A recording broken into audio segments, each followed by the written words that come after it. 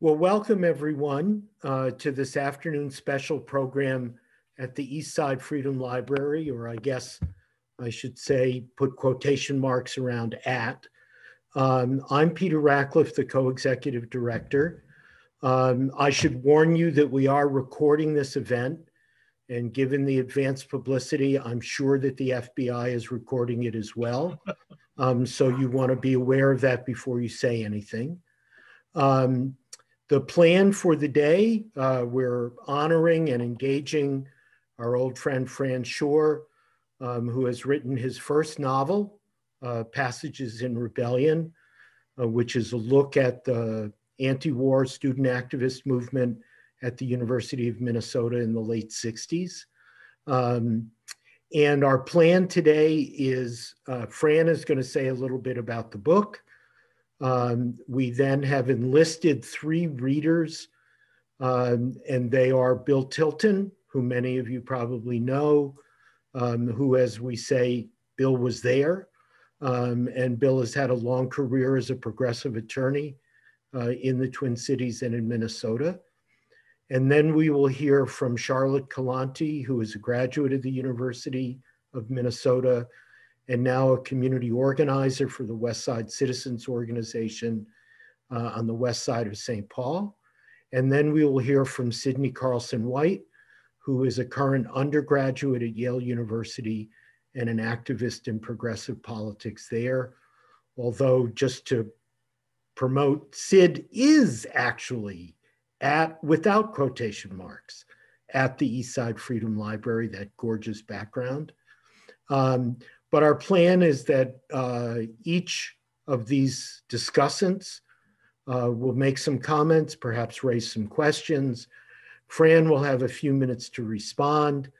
Then we will invite all of you in the audience uh, to type in in the chat function comments and questions, which I will be tracking and passing along to Fran and to the discussants. There will be a parallel process going on on our Facebook page. Um, there are probably people out there uh, in the ether world uh, watching today on Facebook. They too will be able to pose comments and questions. Um, after we've done a bit of that, um, we will go, we will unlock everybody's screen. You can all show yourselves. Uh, you can all unmute your microphones and you can crosstalk uh, to each other, um, whatever it is that might inspire you. So um, that is the plan for the day.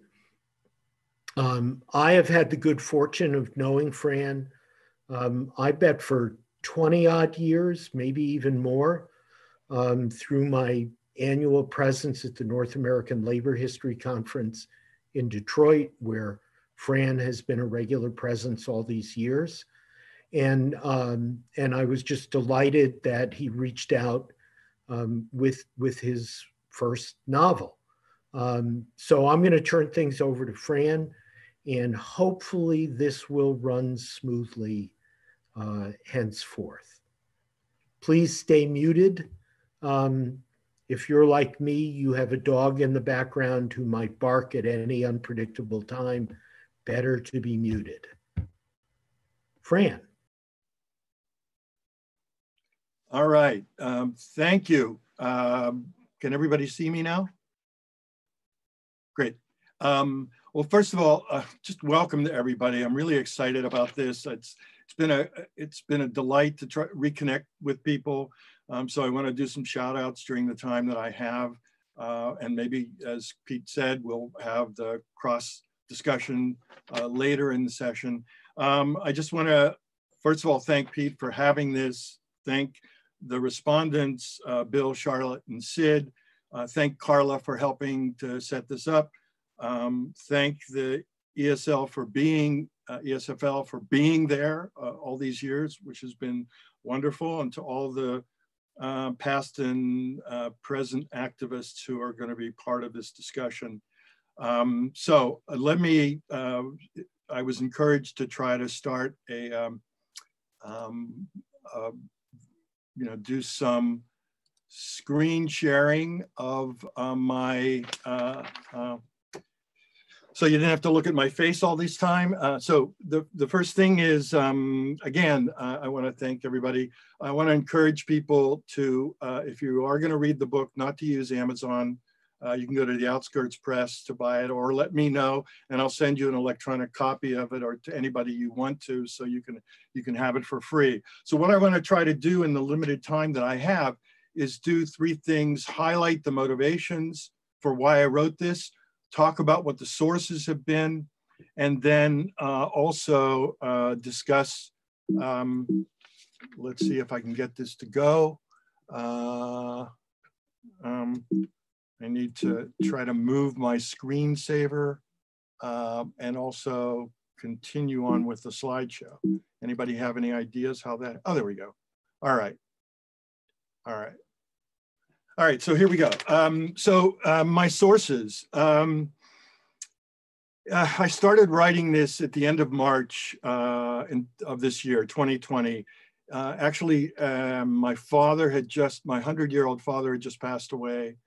Um, you know, one gets to a certain point in one's life where you start taking what Gramsci used to say, an inventory, an inventory of your life. And this is part of that self-reflection. Um, also, you know, the coronavirus hit uh, and um, many of us were beginning the process of, of locking down and shutting in. And so I thought, what better way to escape from the, the entombed sense that I had than by using my uh, imagination to, to try to reconstruct what was going on at a particular uh, poignant uh, moment in my life and the lives of so many people and many of you who are here today. And then finally, I just finished another manuscript and I'd submitted it to uh, an academic press, which takes forever. And it's such a painful process that I thought I gotta divert myself from worrying about that. So those were the, the, the basic um, motivations. Um, and uh, so I wanna talk now about the sources um, for this. And I'm I'm just having a little, there we go. Okay.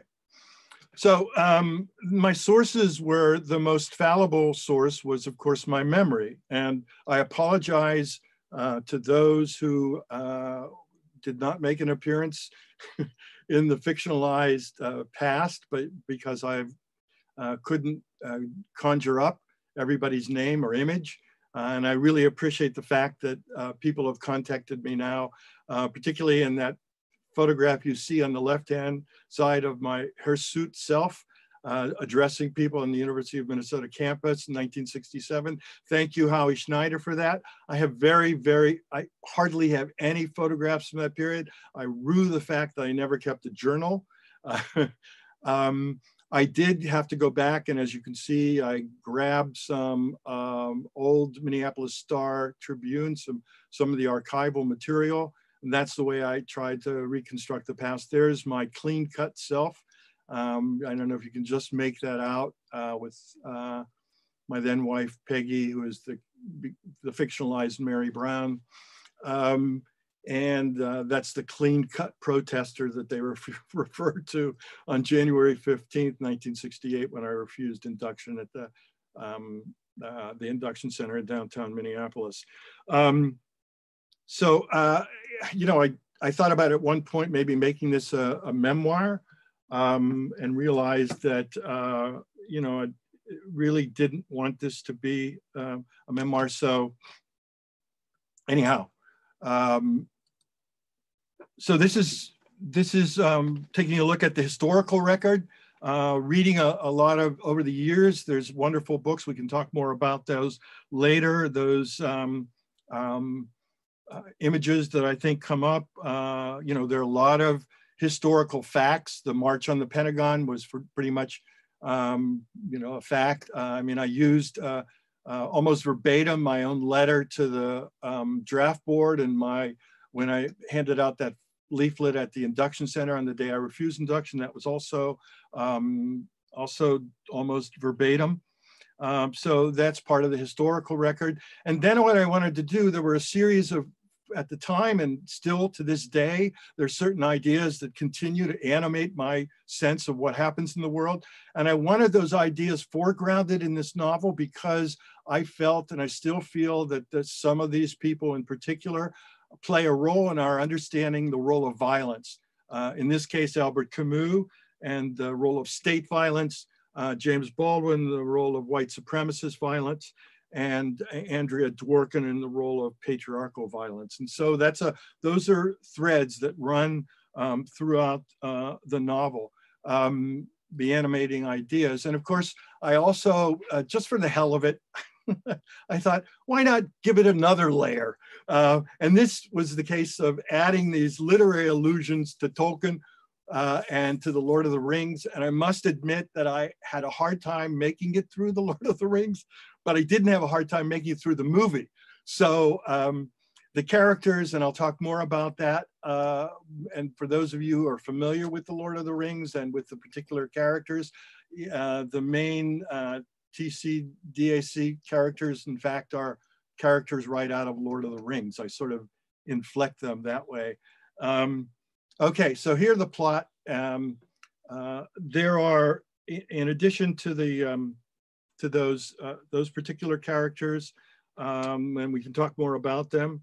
Um, I invented certain characters because I felt uh, still, as I think most of us do, uh, what has animated our recent time has been uh, the fallout from the murder of George Floyd and uh, the mobilization uh, continuing around Black Lives Matter. So I wanted to put in two characters who I made up who were uh, Jamal and Lamar Rice. and that was very, very specific to the character of Tamir Rice. Um, of course, the moment I, I, invented these characters and invented the time. Uh, the Dinkytown occupation did not result in anybody being killed. It did result in the cops beating up a bunch of people. Um, but I, I, needed to have that in there along with this um, mysterious plot, uh, the mysterious stranger. This is a real character. Leo Burt was one of the uh, uh, James Gang, as they were called, who was responsible for the uh, blast of the Army Math Research Center. Burt was on the Daily Cardinal. Uh, and Leo Burt, by the way, disappears, never found by the FBI. Initially, he was thought to have been the uh, Unabomber. um, anyhow, so that was a character who I sort of built on a little bit. Um, uh, and then, of course, I, fl I flash forward uh, because I wanted to keep this uh, as, as um, relevant as possible and wanted to see the generational passages of rebellion. And to this, I added the character of Ruth Brown, who's a composite of my three daughters. I can talk more about that, Molly, Miriam, and, and Emma. And uh, they're all feminists, but they're all different kinds of feminists. And uh, with the youngest, Finn being uh, taking on a new name, gender uh, fluid, um, more, we can talk about that too. Um, and then finally, I felt it was really important um, to bring this uh, up to date, even though the epilogue is uh, short circuiting of so much of what probably Sid and Charlotte can um, bring to this conversation, but you'll recognize these demonstrations that occurred in Minneapolis uh, around uh, Jam uh, Jamar Clark and Philando uh, Castile. And uh, that's um, so that's my time. Um, and uh, uh, I look forward to our discussion. I'm done for now. Oh, it's Bill is up. Okay. Okay, I was I was waiting for you, Peter. Can you hear me? Yes, sir. Okay. Um, hi there, I'm Bill, um, and um, I saw this as a memoir, Fran. Mm-hmm. Um, it, it, it's it's easier to write a novelized memoir because then you can invent language of Dave Pence talking with Dave Gutnick and Sandy Wilkinson and other people at the Draft Information Center in a way that a memoir would not. Right. But Thank but you. otherwise, I, I really appreciated that it was historical. I learned so much about you because I, I, I, assumed that, that the, the, history of Fran Goodman was the history of Fran Shor. And I'm, I'm a little bit jealous because you were involved uh, a couple of years before I was in the anti-war movement. And, and uh, I, I just loved it. I, I, I wish I'd known you were in Detroit all this time hmm. because mm. I did my prison time near Detroit. Yeah, million. Dear, a dear friend started a Michigan nonprofit because of, and for that reason, I've owned inner city Detroit property for 35 years. Mm. And, and get there, I used to get there once a month. Um, and so uh, that, that was a missed opportunity.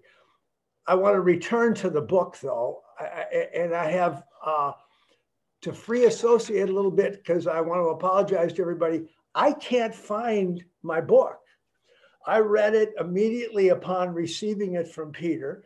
I had favorite passages and, and uh, uh, uh, passages to give you grief about, all carefully marked, pages folded to go to, and this, that, and everything. I, I, don't know where my book is. I spent an hour looking around my house. I, I I, I, learned corners of my house I'd forgotten about. I can't find the book. Um, but but uh, for those, I, I, would assume most people listening have read it. Um, if if if I'm going to hold off on one question because it, it's otherwise a bit of a spoiler alert. But I have a question for Fran. Um, uh, in any case, um, I, I love the Tolkien references. This is again personalizing it because I read all of the Hobbit book and the three Lord of the Rings books to my daughters. I have three daughters. It took two or three years, um, but but it, it's all a part of the Tilton family uh, uh, uh, gestalt, and and so that was a wonderful thing to to read. Um, I, I, what I was reminded of is not just that this was an important part of American history and an important part of our lives. It was such a maturing part of our lives, such a definitive part that is, I think, uh, defined who we are today in so many ways that so many events uh, of other people at that time did not. Um, I am reminded, and we can blow our own horn, we did shit. We were involved in, in, in the issues of our time. And, and I, I appreciate the book for reminding me of that aspect that, uh, you know, I, I, I see Barry Cohen and Chuck Turchick and, and, and Frank and Howie and other people are, are with us. We did shit and we can be proud of that. And, and I, I thank Fran for reminding us of that and, and for bringing us all, all, all together. Um, uh, of course, Marv Davidoff, we can see Art Himmelman, you know, and some of the others there. I, I, I, I hope Chuck Turchick gets involved in the discussion. Uh, he, he was there at the creation of so many other things. Um, uh, I, I love the Liberty House stuff. Liberty House was such a vibrant place. For those of you who don't know, it was at 6th and Cedar in, in Minneapolis. Marv Davidoff had uh, most of the first floor for uh, selling goods from the Delta of Mississippi. And on the second floor was the Draft Information Center and 100 Flowers and, and um, so many other things that sort of uh, just needed a, a workspace. It was, it was early WeWork anybody could sort of come and, and have a space and, and do things there. That was uh, the Honeywell project and, and, and other things. It, it was a, a, vital time, and it's so wonderful to have things uh, reminded uh, uh that you did. Uh, to the extent you mentioned you don't have many photos, I had a ton of photos. Uh. I have boxes and boxes of crap from student government or stupid government, whatever you want to call it, uh, from the new MOB, from, from uh, the Liberation Coalition, if, if some of those things ring bells. I, I had like 15 or 18 boxes. I gave them to the University of Minnesota Anderson Library. So if anybody's interested in doing more research on, on these issues, Peter, I sent you some examples. You didn't have, have time to utilize them for this. Um, I, I, I, I, just have a ton of material and, and, and Anderson Library at the University's West Bank would be happy to share them. Um, the, the only criticism I have, Fran, is my memories of those times included more sex, drugs, rock and roll than you put into the book. but I can understand why maybe you did not. Um, and, and, and, and with that, I think my five minutes are up. And uh, um, thank you. Thank you for including me here. Thank you, Bill. And maybe we'll get to the sex and drugs and rock and roll in the wider discussion period um, when we turn off the recording. um, so, Charlotte, you're next. All right. Thank you. Well, first, I just want to thank Peter for inviting me to be part of this conversation and for the library to continue to put on these kind of events, even during a pandemic, even we're all in our different places. And also, Fran, thank you for writing this book. I, I found it so insightful and really so delightful to read. I went to the University of Minnesota about 50 years after the events in this book are described, but I also have been to Al's Diner also went to the West Bank all the time, also have been in all these buildings. So I really found it so rich and so valuable to remember the activist history that went on in those buildings. Um, and I was just really grateful for the uh, opportunity to be reminded and to learn about these things. So thank you. Thanks. And the first thing I wanted to ask you about and comment on is Frank's character is coming from a Quaker perspective, from a summer working um, from a Quaker house, I think, in the anti draft, anti war movement. And then through the book, the character's relationship to nonviolence and his commitment to nonviolence is sort of challenged and tested, um, particularly after the assassination of Martin Luther King and the uprisings in the wake of that. And I was wondering if you could speak more about your relationship to nonviolence throughout in this period of your life and also since then, Mm-hmm. And what does it mean to be nonviolent? And what are what's its power and what are its limits under white supremacy and in a political life that is so saturated in violence? Mm-hmm. So I was really curious about that distinction. And as the movement becomes more militant, um, how did your relationship to that change? Yeah. Um, the second question I wanted to ask was about the relationship between Mary and Frank. And Mary is often bemoaning Frank's martyr complex. Um, why do you have to do this? Um, and so I was kind of curious if you could speak to that from your personal experience. And um, it seems to be the fa- one of the factors, at least in the demise of the relationship. And I, I think it brings up a really interesting question around what is the role of the individual within a social movement and how does your relationship to yourself change as being part of a movement? I think movements rely on you know, really extreme bravery from individual people. But on the other hand, how does that devolve into egoism or kind of martyrdom or sense of over self importance? Mm-hmm. And this kind of brings me to a question around gender. And the anti draft movement, anti war movement in this rendering is really male dominated, mm-hmm. right? And so, what was it like to be involved in organizing in a really in a space dominated by by young men? Um, how did you see the patriarchy play out? What do you think were the limitations that that brought? And I was so curious by kind of the intervention that these characters of Eileen and then Ruth Brown make at the end, bringing more radical feminist perspective. And how does that change Frank's understanding of himself? How does that kind of shed light on the patriarchal impulses of, of movement organizing in the 60s? Um, so I have a lot of questions. I thought this was an incredible book. Um, but my last question was kind of you wrote about that after LBJ does not seek nomination again, and these broader trends are shifting against the war, that you felt an increasing state repression against the wrong kind of protester. You know, you write that Frank is stereotyped as symbol of the wrong kind of dissent. I was really struck by this. I live in South Minneapolis. I was present at a lot of the protests after the murder of George Floyd. Um, and I saw kind of in real time the way that good press, good protester and bad protester are narrativized, right? And the language of riot Or is it an uprising? Or is it civil unrest? These are all different qualitative things. And I was, I've been thinking about how they're actually all in service of increasing criminalization, increasing repression around certain kinds of radical dissent.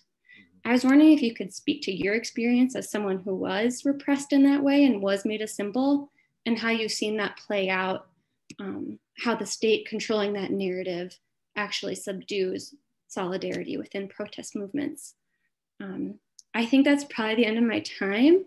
I just want to thank you for this book. I really appreciated how it kind of blends fiction and your own life. Um, and this really personal is really political. And yeah, thank you so much. Charlotte, thank you. Thank you very much. Fran, that's going to take you several days to read Yes, I do really. those questions, which it, it would be time well spent. Um, Sid, please. Would it, would it be preferable to give um, Fran a couple moments to answer the questions, or should I should I be? No, I think we should pile on the questions and then Fran will sort through and so go right ahead, Sid, please. Yeah. So again, I am person to admit here. I am incredibly thankful for both like having this book and getting a chance to read it and for the fact that we have events like this con- continuing even in the even in the most difficult times.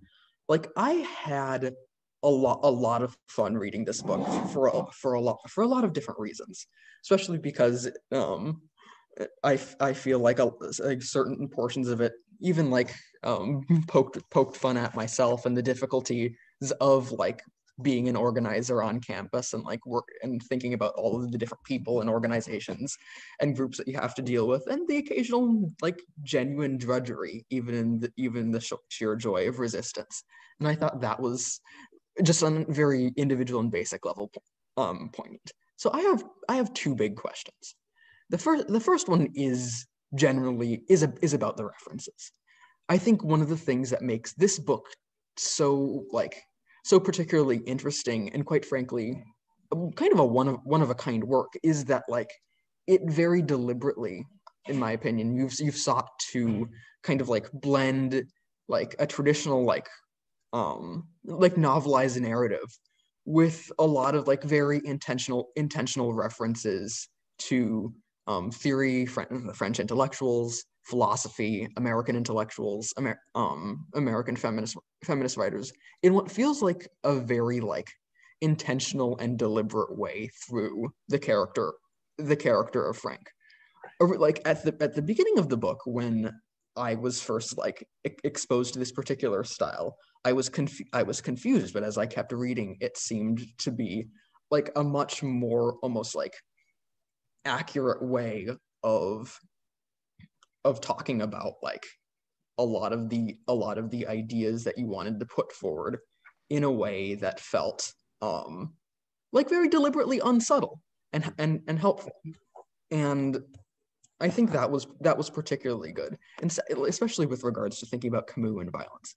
Secondly, I am very interested in, in the choice of Tolkien as like um as a particular response because one of the things that like I have I've been doing in terms of like um just what what culture I've been consuming as of late is um I have not been reading or watching The Lord of the Rings, but I have been going through and re- rewatching all of the Star Wars movies, ah. which um which are according to many people, although this hasn't been fully cor- corroborated and confirmed, Star Wars, the original movies by George Lucas, are very deliberately about the Vietnam War, and that like his me- his method of like very powerful and robust world building, just like Tol- Tolkien's world building, was intended to serve as a place where lots of different political allegories could be grafted upon. And as we know, like in decades and decades of Star Wars content, some good and some bad, lots, lots of different allegories have been made about American and global politics. And like, I'm wondering if you equally saw Tolkien's works as like gigantic, gigantic fantasy, fantasy worlds where anything and everything can and has taken place as like equally powerful slates for this type of allegory, as I often think about Star Wars a lot. Um, and my second and shorter question is mostly mostly about like the book as as a sort of guidebook. Is that like when you were writing this, did you ever did you ever see this book as some sort of like guide for um, future actors or um, future um, activists, like you could say, in our fight against well capitalism, oppression, imperialism, and like trying to like provide a human face to the kind of advice and information that a book like this could have even even 50 even 50 years later. Is that something that was going through your head as as you built this built this? And did it like affect any of your creative or authorial decisions at any point? I would say those are those are my two questions. Again i'm incredibly thankful um, for for this work and how it has made me think about my own activism on campus and what it what it means to be a student of American studies, honestly, and why I think that is um, both a very important field of pursuit and a, and a mode of thinking about the world that surrounds us. And I couldn't thank you more. Thank you, Sid. So, Fran, are you ready to share some thoughts in response to questions that Bill and Charlotte and Sid have raised? Yeah. And after you've done that, Fran, we'll open up for uh, audience members to type in comments and questions as well. Okay. So uh, first of all, thank you uh, to Bill and, and Charlotte and Sid um, for your contributions. Uh, I am really humbled by um, how kind you've been to me about this uh, foray into fiction, or what I like to actually call historical faction. Um, that it's a blending, as uh, I think you pointed out, you know, that it is intrusive, that I deliberately wanted uh, to try to capture the sense that while this character, uh, Franklin Roosevelt Goodman, a sort of semi-autobiographical character, is wending his way through this particular journey, uh, constantly being reminded of what's going on in the war. And uh, I wanted that as, as, as pointedly um, and mostly because of the lack of capacity that I have as a as a fictional writer, I wanted it to be at least prosaically represented.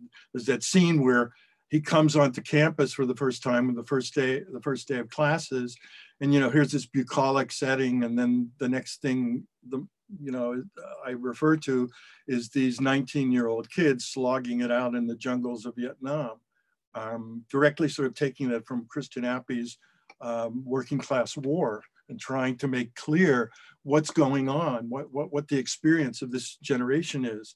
Um, so let me try to return to the specific, some, some of the specific questions because they're, they're really, and, and, and Charlotte, you laid out questions that I'm, I want to I, am going to have to now sit down and write something about this, obviously.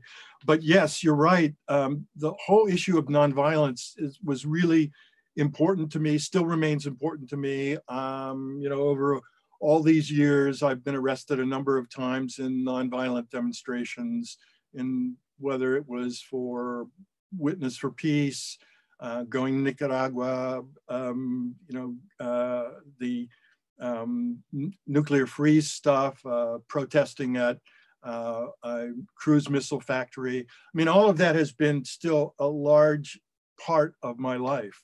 Um, that's been a, a, a, major thread. And wrestling with that issue, particularly during the period of, um, of the late 60s, um, in the aftermath of the insurgencies, the murders of um, Fred Hampton, Mark Clark, and by the police. I mean, it was really hard. That was a, a, a pool that you could hear the slogans, you know, um, the revolution, as the Panthers used to say, the revolution has come, time to pick up the gun. And I could never say that without feeling like I was being a little inauthentic because I never felt like that was something I could personally do. Um, and yet I understood why people would feel compelled to meet state violence with defensive violence on their part. Um, so that kind of choreography, that sense of the dance that uh, Frank uh, tries to navigate in the novel is very much part of what I constantly wrestled with, which is why I, I think, as, as Sid pointed out, that um, Camus remains a constant for me. I mean, I just wrote this article for the Fifth Estate on solidarity in the plague um, and trying to better understand again how we connect, how we remain, uh, as uh, Camus would say, uh, altruists, even as we commit to the kind of individualist rebe individual rebellion that provides our life with meaning.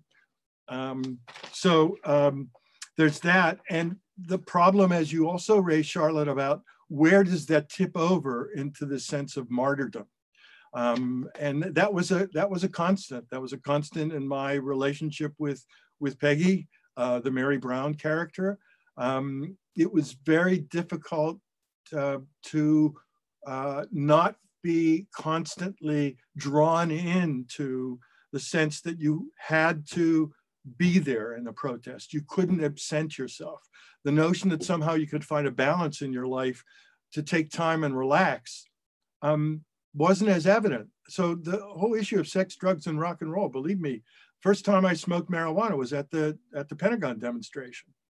I mean, I, I wasn't, I was never into uh, into drugs. Um, you know, and I wanted to make also Frank a flawed character because I believe that I was a flawed character and remain a flawed character. Um, but so that whole issue of fidelity uh, in a relationship, the difficulty of sustaining that fidelity in a relationship, I think that that is compounded by the pulls that one feels, uh, both in personal terms and in political terms uh, at that at that particular time.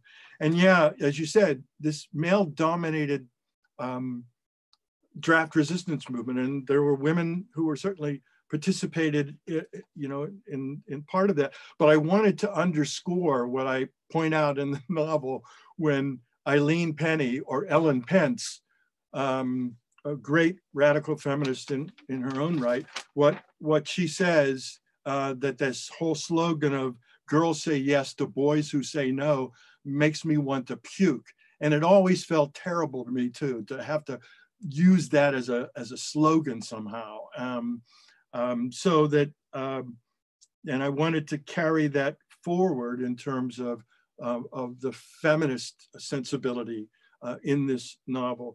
But yeah, I, I think of, and I've written about in extensive ways, the whole idea of a kind of alternative masculinism. Uh, I use this particularly in discussions of the IWW and the way that men formed a particular uh, alternative masculinist um, pro, uh, protest movement. Um, so um, those are all, and finally, let me just end on this discussion of Tolkien. Uh, Tolkien, um, and I, I, I, I, excuse, I'm sorry, I apologize to um, Dave Gutknecht, uh, who becomes Dan Whitman, uh, the Legolas character, the elf, um, uh, Dave Pence, the Jim Penny character, Gimli, the dwarf, John Ryder, Aragorn, Bill Tilton, and Sandy Wilkinson, Frodo, Fred Adamson. Um, these characters who are inflected with the Tolkien, all as part of a quest. And the quest here is confronting the evil of the dominant system. And sometimes even that system, because you seek some way of confronting it, you're lured by the power, just as Frodo was with the ring.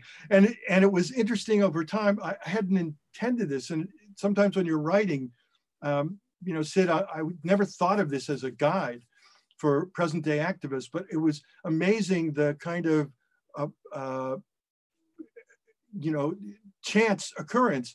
It turned out that that this um, site, this uh, missile site in North Dakota, was in fact called Mount Doom, related to the Mount Doom in in uh, Tolkien. So it just, you know, it just sort of happened by chance that that could work out. And it became another way of expressing a layer of, of, of literary illusion, which I thought for people who were fans of Tolkien might provide some relief.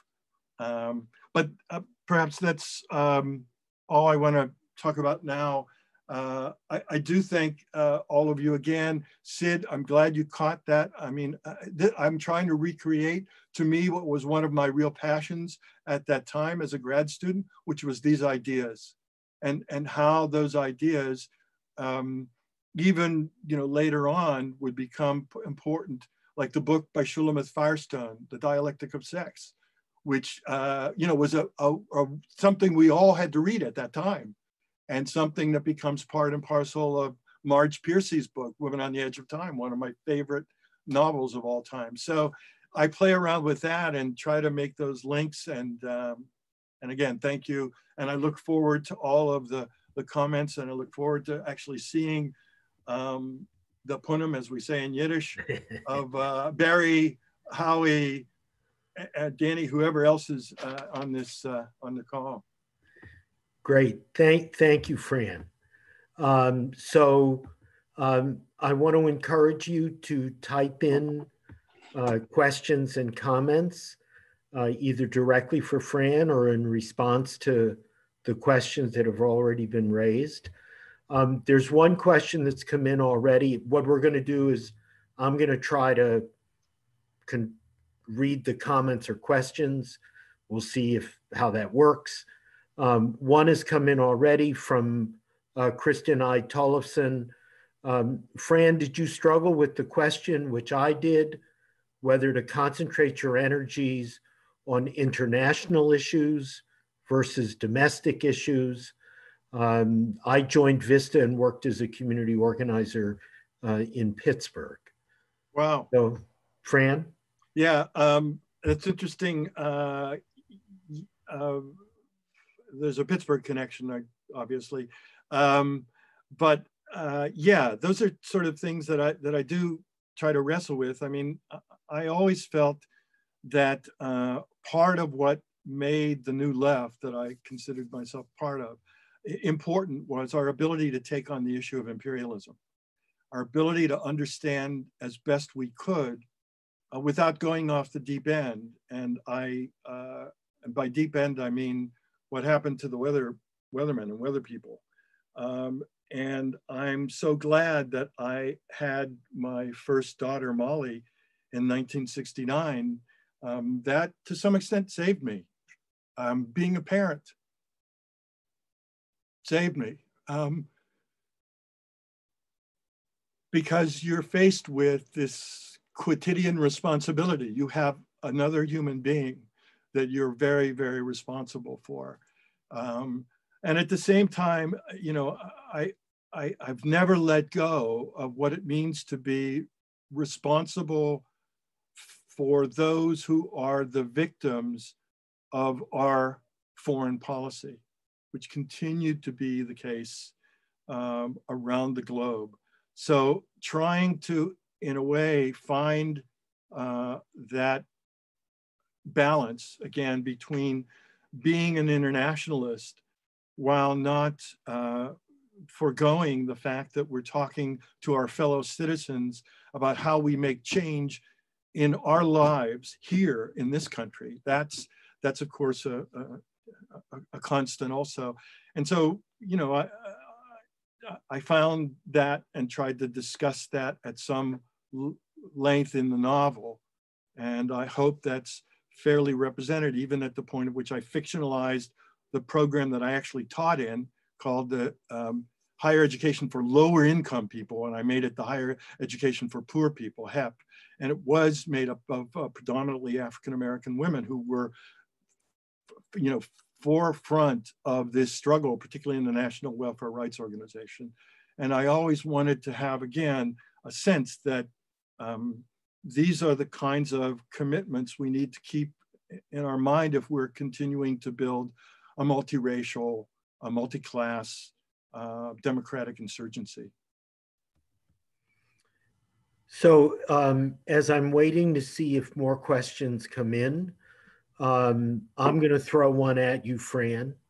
Uh, this last week, I had the opportunity to uh, interview Carolyn Sue Olson, who's a visual artist uh, based in Duluth, who's done a magnificent series of pastels about essential workers. Mm. And two of her, her, two children are both essential workers. Mm. And part of our conversation was my probing. So, what do your children say about the art? So, uh, I'm curious, Fran, you started today by saying you have three daughters who are feminists of of, of different stripes uh, each. Mm-hmm. Um, have they read the book and and what have they said? What sort of conversations have you had with them? Yeah, due to the book. Well, uh, first first and foremost, my oldest Molly, uh, who was born uh, on Ju- July twentieth, nineteen sixty nine, the day the men landed on the moon. Um, so uh, she helped me immensely in crafting the whole section about Ruth Brown's role as a um, director of a women's shelter. Molly was an assistant director of a women's shelter in Battle Creek, uh, not in, and I make the, the name of that was Safe. I changed it to Save in the novel and moved it to Jackson, uh, Michigan. Uh, so Molly really helped me craft that whole section of what it meant to run a women's shelter, who the women were who came to that. Um, and, you know, I'm particularly appreciative of Molly for that. Um, my youngest, Emma slash Finn, has uh, was the one who was the kickboxer, um, the um, who uh, you know whose life in high school I sort of took over in the novel for uh, Ruth because she was, uh, she did fall for a, a, goth skateboarder woman in high school. Uh, and, you know, and so I, I used some of that and we, we talked about it. I talked about um, the way that uh, she now, they now feel about what has become this gender blending. Um, so that try, try to make that in. Finally, uh, Miriam, my middle daughter, is the one who went to the University of Michigan, took a couple of courses, not with Catharine MacKinnon, with other feminist faculty there, um, very much, uh, uh, and the one who has uh, told me that she finds uh, her, in reading this novel, uh, she feels sorry for Frank that he's going through all of this, which I thought was typical of my middle daughter for, for her uh, comments uh, about that. But I must say something that I didn't realize. I mean, all of the characters, the women, many of the women characters have actually the middle names of uh, Molly Ann is uh, the lover of Ruth uh, Brown, Mir Miriam Ruth, Emma Simone. Simone is the Simone Goodman Brown. Um, and I didn't know this until later, but I was trying to capture that generational um, thread. And so we've got Frank with the initial F, first name, Ruth with the initial R, and Simone with the initial S. And those are my initials, Francis Robert Shor. I was not conscious of that at all. It was one of those one of those things. So I, I think, you know, the my three daughters have been inspirations for me. They've been a resource material for me uh, for this novel. And for that, I'm uh, very appreciative. And they've also uh, brought me up on occasion uh, by uh, chastising me uh, for um, certain, let's say, 60 sensibilities that don't always carry over. Thank you. Um, clearly, your unconscious was working along along with your conscious mind um, as any good novelist would. Um, so we have a couple of questions. Uh, Chuck Turchick has asked um, that as he, as Bill put it, we did shit, uh, but the war went on and on. Uh, where do you think that uh, your our uh, anti-war and draft resistance was inadequate? Uh, what should we have done differently? Wow. Um, thanks, Chuck, and and thank you to Bill and Chuck and uh, others who are in here. I never really got the chance of just admire telling each of you how much I admire the fact that you um, you know, had to deal with a lengthy um, prison sentence, something that I, I managed to uh, escape because of the Gutknecht case. Um, and uh, although that, you know, certainly prepared and in the, in the novel that uh, Frank and uh, Mary go up to Sandstone, which is where I thought we were gonna, I was gonna be sent, but any, I was fortunate, lucky throughout most of this. Um, so where did, where did we, where were we um, not, didn't measure up as much? I think, is that the question? Or where Yeah. could we have, you know, I, I think something that happened, there's a, that little exchange between uh, Vince and Frank about where Vince uh, Bourgeois, the uh, lawyer, um, who cha- chastises uh, Frank for playing in the sandbox, you know, uh, just uh, staying on college campuses. Um, it was difficult to reach out. Uh, Bill, you remember this. When we graduated, when we had our mock graduation ceremony in 1970, we basically turned, we, we organized a community effort to reach out to people uh, in Minneapolis and to begin to do organizing uh, around anti-war work. And I always thought, uh, you know, the difficulty of doing that, the difficulty of reaching out to communities uh, of not like-minded people, uh, meant that we had to learn uh, a kind of repertoire that we always weren't prepared to prepared to take on. Like, how do we talk to, you know, working class people uh, as a middle class uh, student? Um, you know, how do we deal with those kinds of issues? And and that was a real uh, item, you know, in dealing with the labor committee with the Honeywell project, which I was on, and you know, we had that meeting, and the Teamsters show up to try to beat our heads in. I mean, I was you know, how I think we could have there were ways that we missed opportunities in reaching out to the labor movement at the time, even though there's that great book uh, by on hard hats, Hawks, and uh, you, you, probably know the book. Penny Lewis's book. Yeah, Penny Lewis's yeah. book about the fact that working class people were animated, were engaged, were anti-war, um, but how we organized to feel like we could be part and parcel of this. And to go back, Charlotte, to your to your point, I mean that we uh, sometimes saw ourselves as righteous dissenters uh, who didn't want to, uh, you know, somehow sully ourselves by by going outside the, of the of our bubble, going outside of our comfort zone, and what that might mean, uh, and how it meant uh, digging in more uh, to, to, to living in these communities. So I always admired community organizers who would work for years on end, uh, you know, and, and tough it out. And I, uh, I, I, um, and I always sort of thought of myself as a community organizer on campus, uh, which was a safer area to work at. Um, so Chuck, more specifically, you know, reaching out, making those bridges, creating uh, situations so that those people um, in working class communities wouldn't did would not see us somehow as the enemy that then uh, continued to be uh, as it continued to be represented in the press and even more recently um, in um, the PBS documentary mm. about Vietnam where the peace movement is relegated uh, to you know these um, uh, to a, sort of a footnote without um, you know, without understanding its full range.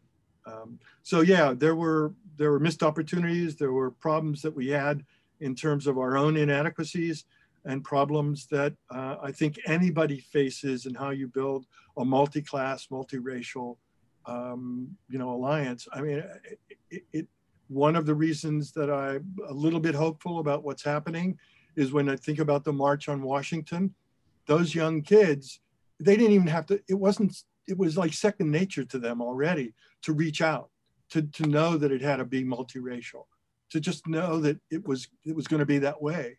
Uh, you know, it wasn't as if there was, it was automatic and spontaneous. They had to do the work.